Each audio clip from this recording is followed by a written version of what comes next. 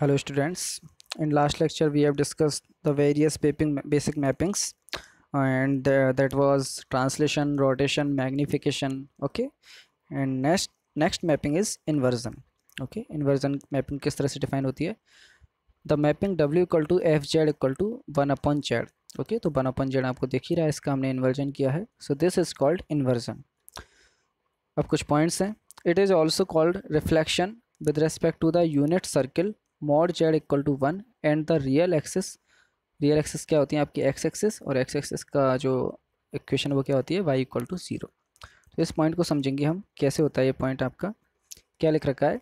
कि जो आपका जो इन्वर्जन होता है, वो जो एक यूनिट सर्किल होता है आपका mod Z equal to one okay unit circle है ये, इसका जो सेंटर है वो ज़ीरो ज़ीरो पे है और रेडियस वन है।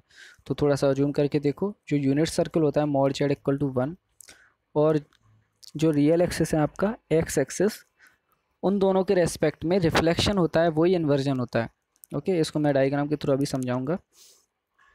और इसमें एक और पॉइंट है since W equal to one upon Z तो कुछ सॉल्व करते हैं, इसमें कैलकुलेशन करते हैं। दिस इम्प्लाइज डब्ल्यू की जगह मैंने रख दिया U plus iota V equal to one upon Z की जगह एक्स प्लस आयोटा वाई थोड़ा सा हमने इसको सॉल्व किया है, और इसमें हमने रेशनलाइजेशन किया है। ऊपर एक्स माइनस आयोटा वाई से मल्टीप्लाई नीचे, दोनों तरफ़ मल्टीप्लाई करके थोड़ा सॉल्व किया। सो यू और वी की वैल्यू एक्स और वाई की फॉर्मेट में आ चुकी हैं। U equal to X upon X square plus Y square and V equal to minus Y upon X square plus Y square okay तो क्लियरली आपको दिख रहा है कि X square plus Y square जो आपका डिनोमिनेटर है, वो तो पॉजिटिव है, यानी कि u और v की वैल्यू किस पे डिपेंड करेगी? न्यूमरेटर पे, यानी x और y पे।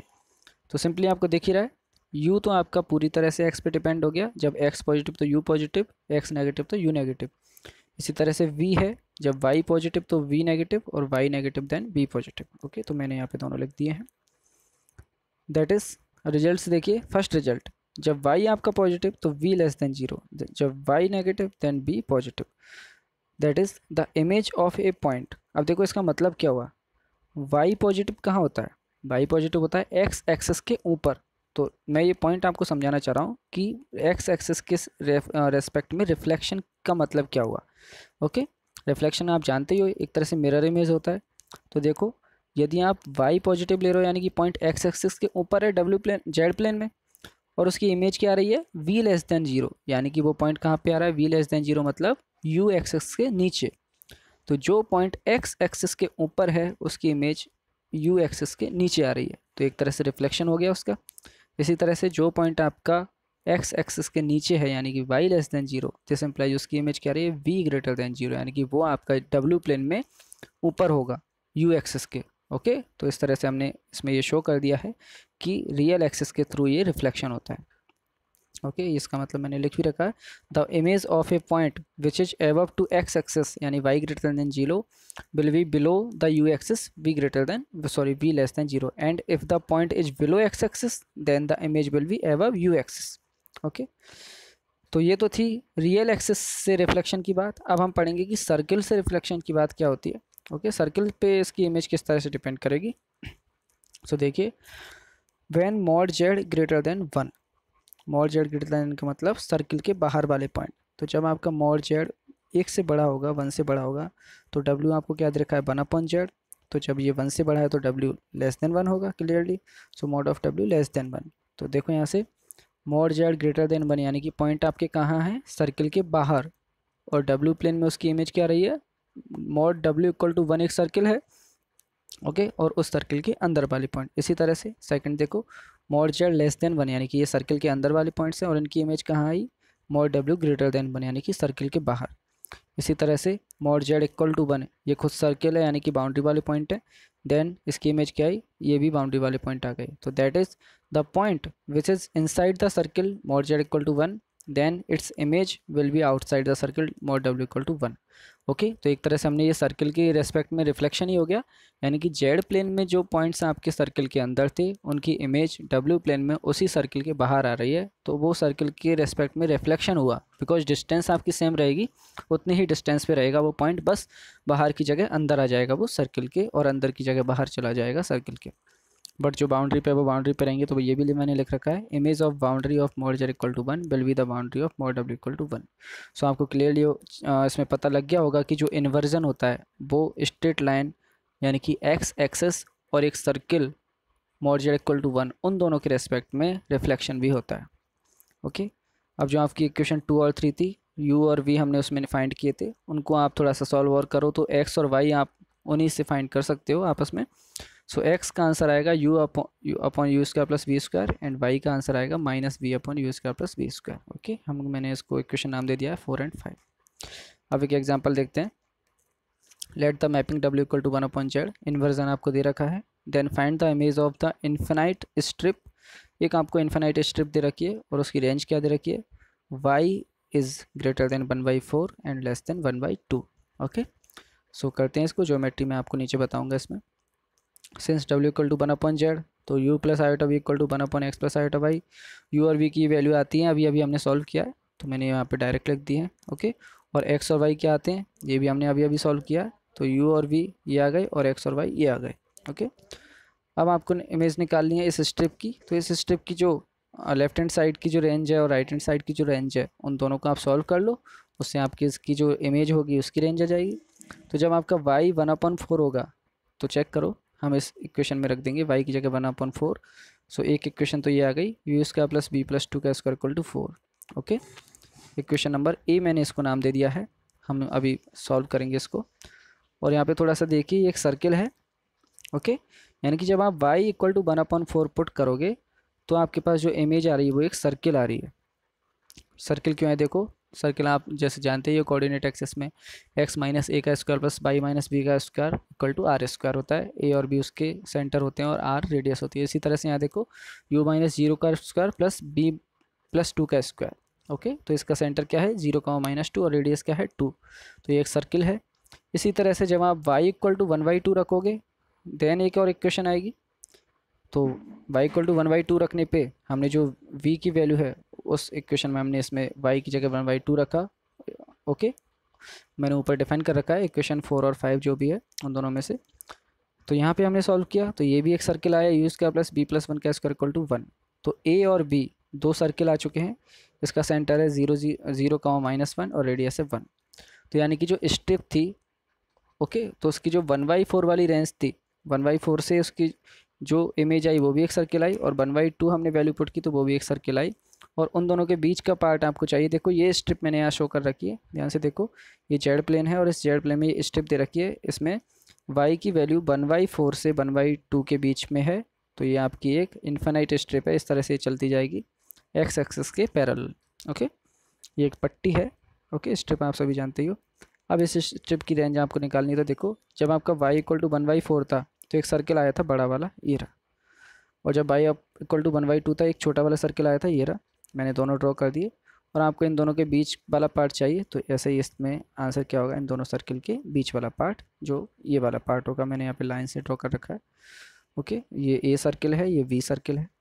तो इस, इसका मतलब इस स्ट्रिप का इमेज डब्ल्यू प्लेन के अंदर इस तरह का आया। Okay so this is inversion next हम पढ़ेंगे अब important linear transformation and linear के बाद हम पढ़ेंगे वाई लीनियर सो लीनियर तो सिंपल सा ही होता है। आप एब्स्ट्रैक्ट एल्जेब्रा में पढ़ते हो और लीनियर मैपिंग तो कई बार आपने देखी होगी। लीनियर का मतलब डब्ल्यू और जेड के बीच में एक लीनियर रिलेशन होना चाहिए। So the mapping W equal to alpha z plus beta okay is called a linear transformation where alpha and beta are complex constant okay simple सा है। देखो जेड में और डब्ल्यू में एक लीनियर रिलेशनशिप है। अल्फ़ा की वैल्यू आप कुछ मान सकते हो यहाँ पे। A into e raised the power iota psi one and beta की वैल्यू आप मान सकते हो। V L two e raised the power iota psi two okay यानी कि मॉड ऑफ़ अल्फ़ा हमने मान लिया है ए और अल्फ़ा का आर्गूमेंट हमने मान लिया शाई वन मॉड ऑफ़ बीटा हमने मान लिया बी और बीटा का argument psi two okay then this mapping is called linear transformation the mapping W equal to alpha z plus p has all the transformation that is magnification rotation and translation तो जो linear transformation होता है, उसमें आपके magnification, rotation और translation, ये तीनों इसमें है। ध्यान से देखो। ये जो प्लस का साइन है तो प्लस का साइन आपका किसमें आता है? ट्रांसलेशन में। तो एक ट्रांसलेशन भी हो गया। और ये मल्टीप्लाई का साइन है, अल्फ़ा से मल्टीप्लाई, और मल्टीप्लाई किसमें आता है? मैग्नीफिकेशन और रोटेशन में। तो इस तरह से इसमें तीनों ही इंक्लूडेड हैं। तो लीनियर ट्रांसफॉर्मेशन में आपका मैग्नीफिकेशन, रोटेशन और ट्रांसलेशन तीनों इंक्लूड होते हैं। रीजन भी मैंने लिख रखा है। Because first of all we magnify the mult b magnify सबसे पहले मैग्नीफिकेशन करेंगे। By multiplying mod alpha into a okay magnify क्या होता है? कि आप उसको किसी भी नंबर से मल्टीप्लाई करो। तो जब आप मॉड अल्फ़ा इंटू ए से मल्टीप्लाई करोगे जेड को तो वो तो हो गया मैग्नीफाई देन हम रोटेट करेंगे। बिकॉज़ अल्फ़ा से मल्टीप्लाई हो रहा है तो अल्फ़ा के एंगल के साथ ही रोटेट होगा। तो then rotate with angle psi one and translation किससे होगा? प्लस बीटा यानी कि मॉड ऑफ़ बीटा से। And finally translate with mod of beta equal to v okay so जी है कंसेप्ट काफ़ी। This was linear transformation next हम इस जो चैप्टर का जो इम्पोर्टेंट टॉपिक है वाई लीनियर ट्रांसफॉर्मेशन यही चैप्टर का नाम था आपका। इसके दो नाम और हैं तो एक बार इन नामों को हम, मैं आपको समझाऊँगा इनके दोनों नामों का सिग्निफिकेंस क्या है। एक नाम है इसका लीनियर फ्रैक्शनल ट्रांसफॉर्मेशन एंड अगला है मोबियस ट्रांसफॉर्मेशन तो सबसे पहले मोबियस के बारे में बता देता हूँ।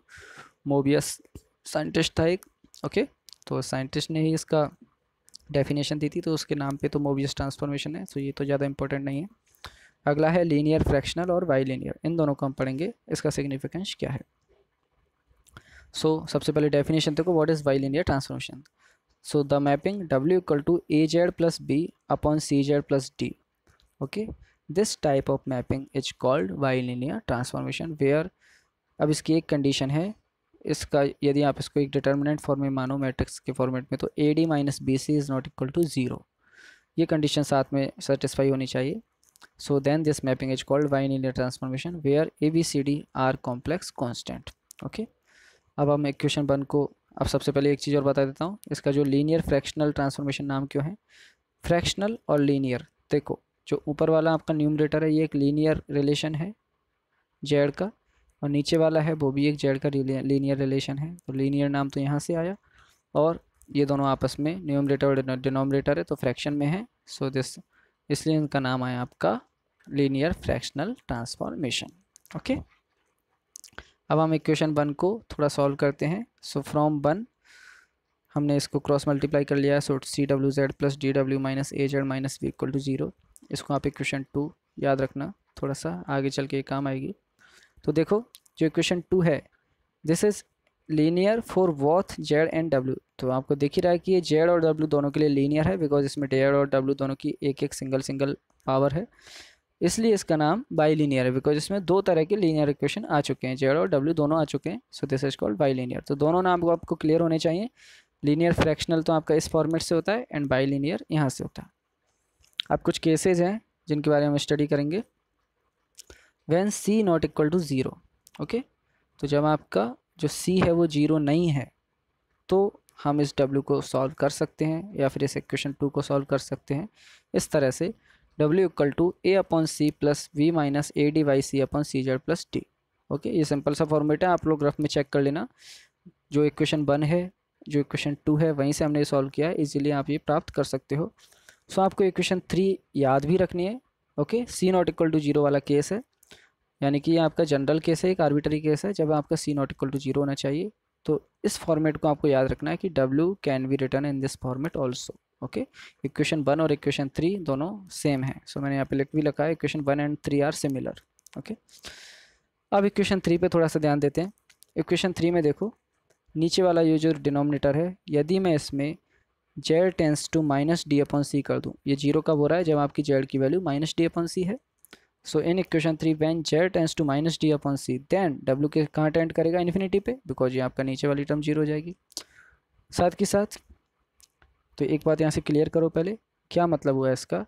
जब कभी भी आप बाइलिनियर ट्रांसफॉर्मेशन में किसी point minus d upon c की इमेज निकालोगे तो वो इमेज कहाँ पे आएगी? डब्ल्यू प्लेन में इन्फिनिटी पे ओके ये इसका मतलब हुआ। साथ के साथ ये भी देखो, जब आपका a d equal to b c तो हमने जो स्टार्टिंग में कंडीशन ली थी बाइलिनियर ट्रांसफॉर्मेशन में, मैंने कहा था कि इसका डिटर्मिनेंट ज़ीरो नहीं होना चाहिए नॉन ज़ीरो बट यदि आप इसके डिटर्मिनेंट को ज़ीरो ले लो, यानी कि a d minus b c equal to zero या फिर a d equal to b c then no meaning of mapping क्यों नहीं होगा उसका मीनिंग देखो। यदि आप a d equal to b c यहाँ पर ले लोगे तो ये जो, ये वाला पार्ट है, ये पूरा ज़ीरो हो जाएगा और आपका सिर्फ़ बचेगा W equal to a upon c और W equal to a upon c में कहीं पे भी जेड नहीं है और जेड नहीं है इसका मतलब आपका डब्ल्यू और जेड के बीच में कोई मैपिंग ही नहीं है। So there was there will be no meaning of mapping कोई मैपिंग ही नहीं होगी कोई मतलब ही नहीं होगा। सो so, आपको ये ध्यान रखना है a d equal to b c तो कभी होना ही नहीं चाहिए। So hence for the mapping one और थ्री यानी कि जो मैंने इक्वेशन वन और थ्री दो भी लिख रखी है दोनों सेम है। तो इक्वेशन वन या फिर इक्वेशन थ्री में जब आपका c not equal to zero होगा and z not equal to minus d by c देखो जब आप माइनस डी वाई सी ले रहे हो तो डब्ल्यू की इमेज इन्फिनिटी आ रही है। इसका मतलब आपको ये पॉइंट भी नहीं लेना। सो so, जब आपको c not equal to zero है और z not equal to minus d by c है then each point of z has an unique image in W plane तो आपको ये याद होना चाहिए ये एक मैपिंग है और इस मैपिंग में जेड की कोई भी वैल्यू पुट करो तो डब्ल्यू की यूनिक आंसर आएगा उसमें। बस दो वैल्यू आपको नहीं लेनी एक तो c not equal to zero ये रखना है साथ में और दूसरा z not equal to d by c okay अब हम लेते हैं next case when c equal to zero तो जब आप सी इक्वल टू ज़ीरो रखोगे इक्वेशन वन में या फिर थ्री में तो क्या आंसर आएगा? W equal to a upon d z plus b upon d तो ये तो सिंपल सा आपको दिख रहा है। W equal to some constant into z plus some constant तो ये तो एक तरह से लीनियर ट्रांसफॉर्मेशन ही हो गया। So this is a linear transformation simple सा है। इन द एव ऑल केसेज अब हमने जो ऊपर सभी केस डिस्कस किए हैं, जितने भी the condition a d minus b c not equal to zero is taken. Okay? आपको याद रखना चाहिए कि जब आपका ये डिटर्मिनेंट नॉन ज़ीरो होगा तो ही हम ये सारे केस पढ़ेंगे, बिकॉज़ इस केस के बिना, इस कंडीशन के बिना तो आपकी मैपिंग ही डिफाइन नहीं होगी। ओके? अगेन, और देखते हैं उस बाई मैपिंग की कुछ इंपॉर्टेंट बातें हैं। तो when a d minus b d not equal to zero ये तो लेना ही है आपको, ये determinant not equal to zero ही लेना है। Then from one the inverse transformation of one is defined as. तो जो आपकी इक्वेशन वन थी, वो डब्ल्यू के लिए सॉल्व की थी। अब हम इसको जेड के लिए भी सॉल्व कर सकते हैं। So Z equal to minus D W plus B upon C W minus A ये फाइंड आउट होके आएगा। आप लोग चेक करना है इसको रफ में, जो इक्वेशन वन है या फिर थ्री है, उसको आप जेड के लिए सॉल्व करोगे तो ये वैल्यू आएगी। ओके तो ये भी एक तरह से वाई लीनियर ट्रांसफॉर्मेशन है। इसमें डब्ल्यू वाले फ्रैक्शन में लीनियर ट्रांसफॉर्मेशन है। So this is also a bilinear transformation इसका डिटर्मिनेंट क्या होगा? इसका डिटर्मिनेंट आप यहाँ से निकाल लो minus D into minus A minus B C equal to A D minus B C तो हमने यहाँ पे देखा कि जो जेड का ट्रांसफॉर्मेशन और जो डब्ल्यू का ट्रांसफॉर्मेशन इक्वेशन वन और फाइव दोनों के लिए डिटर्मिनेंट सेम आया है A D minus B C तो यहाँ पे भी हम A D minus B C को नॉन ज़ीरो लेके चलेंगे ओके अब ये इक्वेशन नंबर फाइव है this is called inverse transformation of equation number one और इक्वेशन नंबर थ्री अब इस इक्वेशन नंबर फाइव के लिए थोड़ी सी बातें कर लेते हैं। जैसे हमने वहाँ पढ़ा था, इसी तरह से यहाँ पे देखो, जब आपकी डब्ल्यू की वैल्यू ए अपॉन सी होगी तो जेड की वैल्यू इन्फिनिटी आएगी, यानी कि हम इस पॉइंट को रिमूव कर देंगे। Okay so when W tends to A upon C then Z tends to infinity okay hence for अब यदि हम इस पॉइंट को हटा दें तो बाकी सारे पॉइंट्स के लिए आपकी जो इमेज है, वो यूनिक आएगी जेड प्लेन में। So hence for each point of W plane W not equal to A upon C लेना है बिकॉज़ इसकी इमेज तो इन्फिनिटी आ रही है।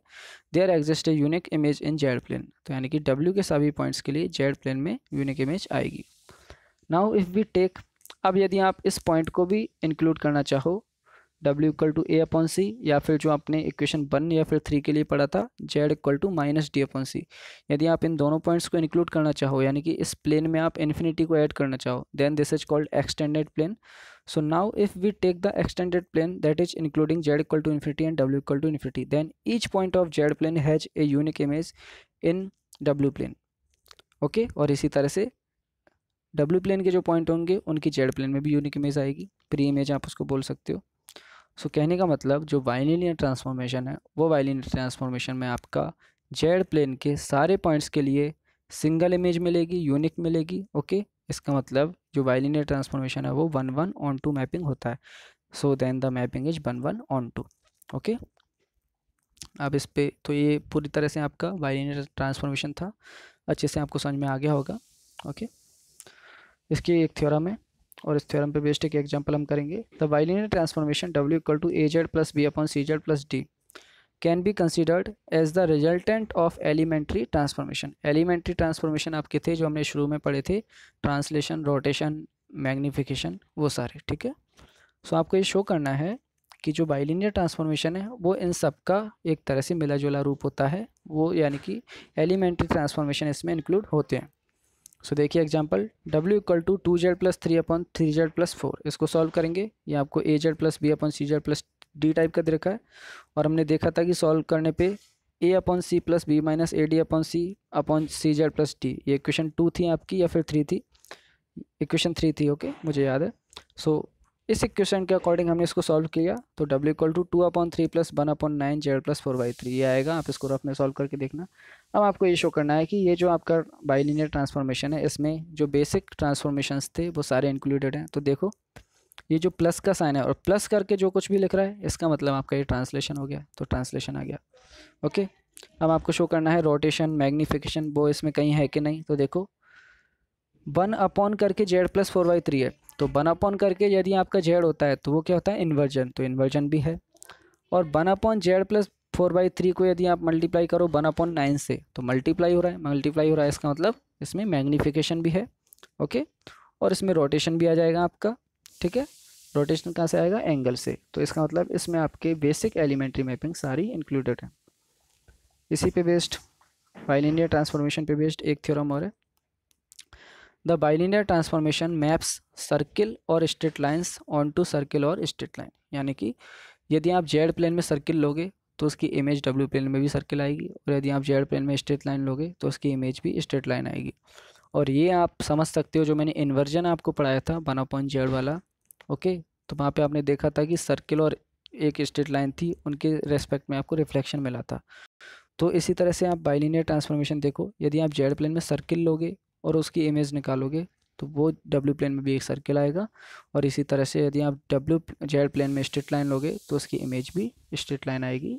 डब्ल्यू प्लेन में ओके सो इस तरह से आपका ये बाइलिनियर ट्रांसफॉर्मेशन जो इसके थियोरटिकल कंसेप्ट थे वो मैंने यहाँ पे आपको इस लेक्चर में बताए हैं। एक दो टॉपिक्स और हैं आपके इस सिलेबस में तो वो आप लोग खुद से पढ़ना बुक से बिकॉज़ उनमें आप कैलकुलेशन पार्ट है। सो कंसेप्चुअल चीज़ मैंने यहाँ पे बता दिया आगे वाले पार्ट आप इजीली कर लोगे।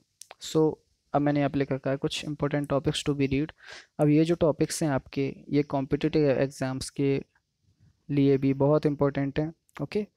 सो, देखिए, इसमें मैंने फ़र्स्ट पॉइंट डाल रखा है, क्रॉस रेशियो। ये आप देखना बुक में, क्रॉस रेशियो एक रेशियो होता है, लीनियर रेशियो, और उस पर बेस्ड न्यूमेरिकल आता है।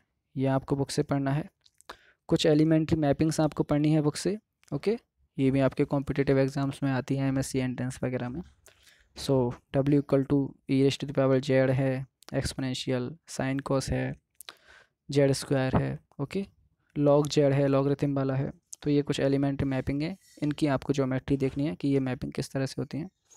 एक टॉपिक और पढ़ना है आपको फिक्स्ड पॉइंट या फिर इन्वेरियंट पॉइंट्स ऑफ़ मैपिंग तो ये तीन चार आपको इंपॉर्टेंट पॉइंट्स ये टॉपिक्स हैं।